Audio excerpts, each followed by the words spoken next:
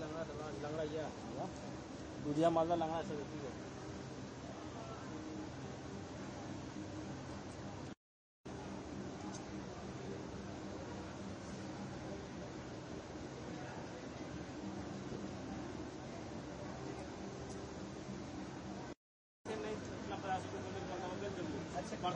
है हाँ वर्तमान के लिए पचास रुपये किलो दे दिया तो बोलिए ना जैसा दिन को ले लीजिए उनका टमाटर से सत्तर सत्तर अस्सी रुपये दे दिया लोगों के पास करीब करीब शहर डेवलप हो चुका है वहाँ कोई भी चीज़ देखना बहुत आसान है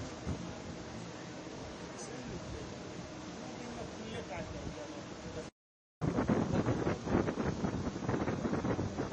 कितना मल्ला मल्ला मल्ला मल्ला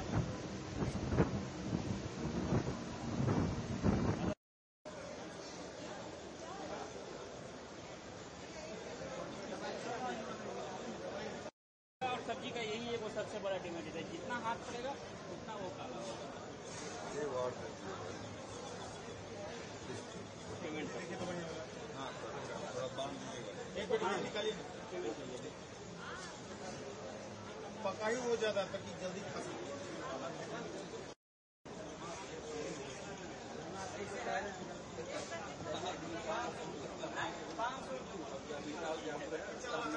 पका देते हम लोग अपना किए हाँ।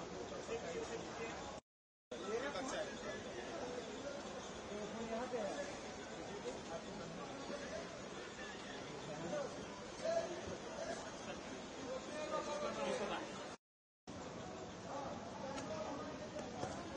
एक देख दीजिएगा तो बढ़िया देखे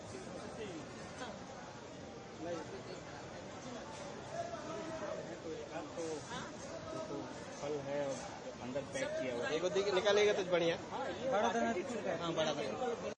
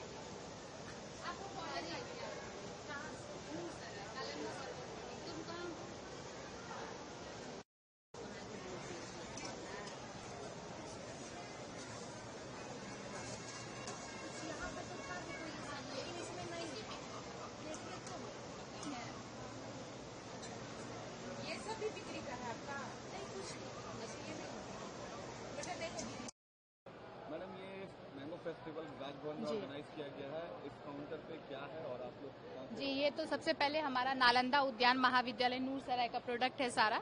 और ये हम 19-20 वेराइटी लेके आए हैं अपने कॉलेज के ठीक है? और ये हमारा जो आर्ट है वो प्रोसेस्ड प्रोडक्ट है जो सारा मैंगो से बना हुआ है।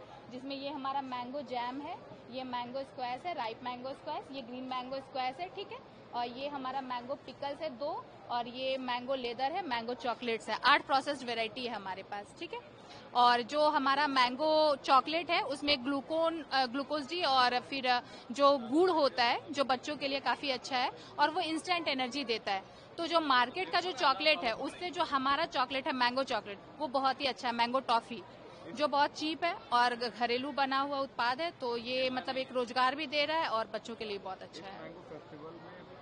बिहार के अलग अलग डिस्ट्रिक्ट से प्रोडक्ट आए हुए जी, सारे डिस्ट्रिक्ट से हमारे जो नौ प्रमंडल हैं, सारे किसान अलग अलग वेरायटी के अपने मैंगो लेके आए हुए हैं और जो मैंगो से बने हुए उत्पाद हैं, वो भी लेके आए हुए हैं। कितना बूस्टअप मिलता है इस तरह का जो आयोजन जी देखिए अगर एक किसान दूसरे किसान से मिलते हैं जैसे कुछ जानकारी हमें नहीं होती है दूसरे प्रमंडल के लोगों को होती है दूसरे किसान कुछ ज़िले में जागरूक किसान भी हैं ठीक है?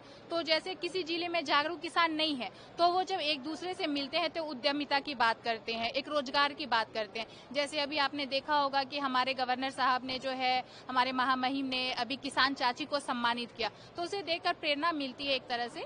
कि अगर किसान चाची ने इतना अच्छा किया है तो उसे हमें भी अच्छा करना है। उनसे सीख लेनी है उनसे प्रेरणा लेनी है उनसे बातें करते हैं तो काफ़ी कुछ सीखने को मिलता है।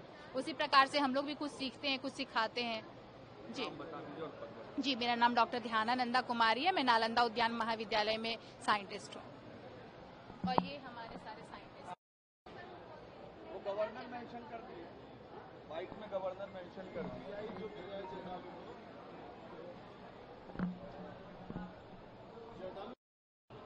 ये आम महोत्सव यहाँ पर राजभवन में किया गया है बिल्कुल। किस तरीके का आम यहाँ पर आप लोग दे रहे हैं? आपके काउंटर पे कौन सा? देखिए हम लोग के पास ये ऑर्गेनिक फल है ठीक? ये भागलपुरी आम जो है जर्दालू के नाम से ये प्रचलित है। और इस फल में जो है ये मतलब कि ये जो है ये फल जो है जर्दालू पहले बात करें। ये मैम यहाँ पर मैंगो फेस्टिवल राजभवन में ऑर्गेनाइज कराया गया है। क्या है और यहाँ पर आपके काउंटर पर यहाँ पर क्या अवेलेबल है? कहाँ से?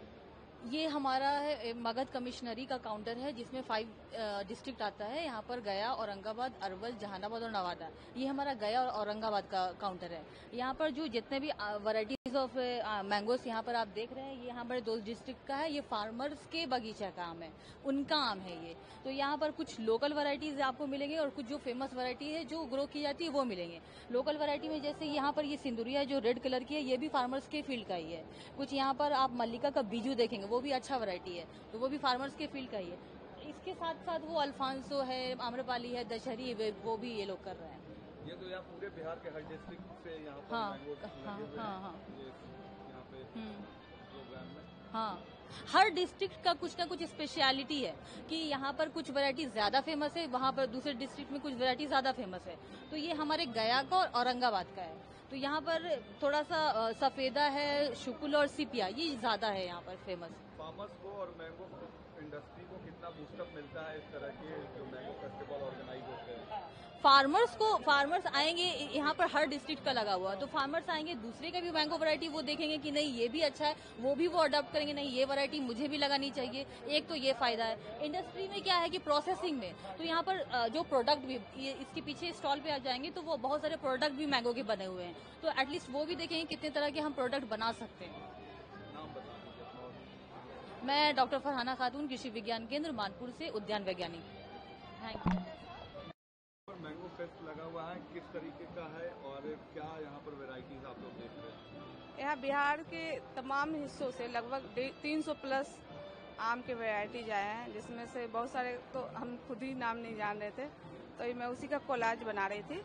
और यह काफ़ी अच्छा अवसर है कि बिहार का प्रत्येक जिला से जो हमारी खासियत है आम कि उनका एक ब्रांडिंग हो रहा है, लोग उसमें जागरूक हो रहे हैं।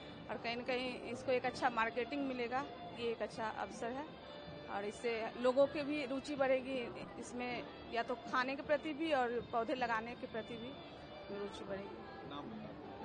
मैं यहाँ पर मजिस्ट्रेट के रूप में हूँ प्रखंड पंचायत राज पदाधिकारी बख्तियारपुर।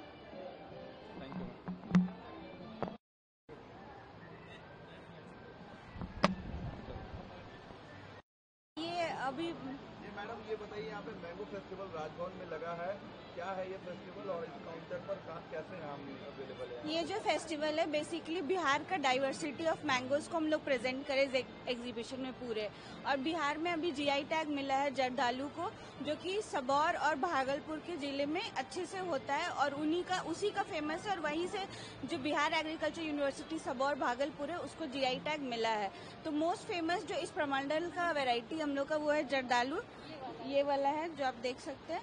और इसके बाद और भी किसान हैं जो हम लोग के यहाँ एक्सपेरिमेंट कर रहे हैं, जो कलर्ड वेराइटीज की तरफ़ जा रहे हैं। एक जो है पूसा अरुणिमा है हम लोग का, जो कलर्ड वैरायटी है और ये बहुत अच्छा मतलब कलर में के मामले में और टेस्ट के मामले में दोनों में है। फिर एक यहाँ की पुरानी वेराइटी है भरत भोग। वो भी ऑलमोस्ट एक्सटिंक्शन के कगार पे। तो वो एक किसान है वो भी बहुत अच्छे से प्रिजर्व करके रखे और हम लोग अपने स्तर पे कॉलेज के स्तर पे ये प्रैक्टिस करना चाह रहे हैं कि हम लोग इसका सीड सैम्पलिंग बना के और प्रोपोगेट करेंगे। ये पूरे बिहार के अक्रॉस सारे बिहार के डिस्ट्रिक्ट से यहाँ पे एग्जीबिशन लगे हैं? यस सर हाँ। ये कितना बूस्टअप मिलता है मैंगो इंडस्ट्री को या फिर बात करें फार्मर्स को इस तरह के सब फार्मर्स को अगर वो मोटिवेट होते कि अगर हम लोग जा रहे हैं हम लोग अपना वैरायटीज प्रेजेंट कर रहे हैं तो वहाँ हम लोग को प्रोत्साहन पुरस्कार या जो भी और यहाँ पे जो कि मैंगो सीज़न में बहुत ज़्यादा मैंगो जा रहा है लेकिन उसका पोस्ट हार्वेस्ट टेक्नोलॉजी उन लोगों को नहीं पता है प्रोसेसिंग कैसे करना है एक्सपोर्ट कैसे करना है ताकि उन लोग को सही टाइम पे सही क्वालिटी का सही रेट मिल पाए। इसीलिए इस एग्जीबिशन का बहुत ज़्यादा इंपॉर्टेंस है प्रोग्रेसिव और फार्मर्स के लिए। वर्षा कुमारी केवी के जहानाबाद से।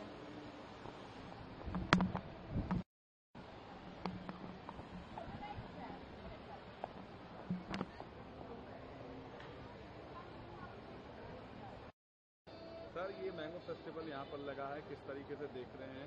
कितना इफ़ेक्टिव मानते हैं इस तरह के मैंगो फेस्टिवल नहीं, इस तरह के आयोजन से जो है किसानों में जागरूकता फैलती है और एक अच्छा आयोजन है। आम की प्रजाति को हर कोई जानेगा बेहतर ढंग से। किसान इससे उत्सुक होंगे इस दिशा में खेती की दिशा में और आगे से तेज़ी से बढ़ेंगे। ये एक बहुत अच्छा आयोजन है और हर लिहाज से देखा जाए तो ये समृद्धि की दिशा में बढ़ाने वाला एक कदम है। जो लोग विज़िट करने आ रहे हैं उनके लिए कितना अच्छा एक्सपीरियंस है? अलग अलग तरह के आम यहाँ पर मिल हैं। हम खुद उत्तर प्रदेश वाराणसी से आए हुए हैं। और? बहुत अच्छा लग रहा है आकर के। इस तरह का आयोजन पहली बार देख रहे हैं। काफ़ी बड़े पैमाने पर आयोजन है ये। और निसंदेह ये बहुत अच्छा आयोजन है और कारगर आयोजन रहेगा। डॉक्टर अजय सिंह नाम है मेरा। ठीक है। धन्यवाद।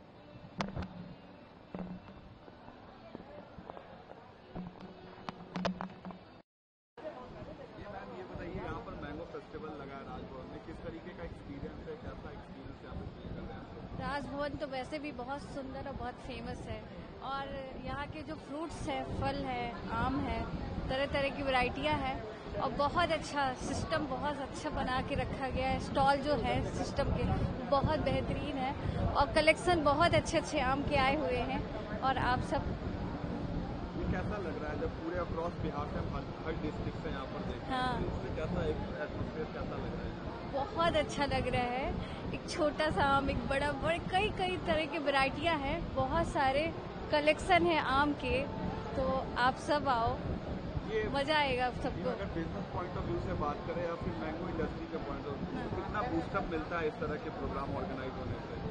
देखिए आप अगर बिहार से हो और अगर कनेक्टिविटी बना के रखोगे जैसे स्टॉल कहीं भी अगर लग रहा है तो उससे आपकी आम की क्वालिटी तो उसके उसके हिसाब से ज़रूर कनेक्ट करना चाहिए स्टॉल लगाना चाहिए। नाम मेरा नाम मयूरी गुप्ता है और मैं यहीं पटना से हूँ। और मुझे यहाँ आके बहुत अच्छा लग रहा है। जो यहाँ की स्टॉल बेटी है, बहुत अच्छे से स्टॉल किया गया है तो मुझे बहुत अच्छा लग रहा है। Thank you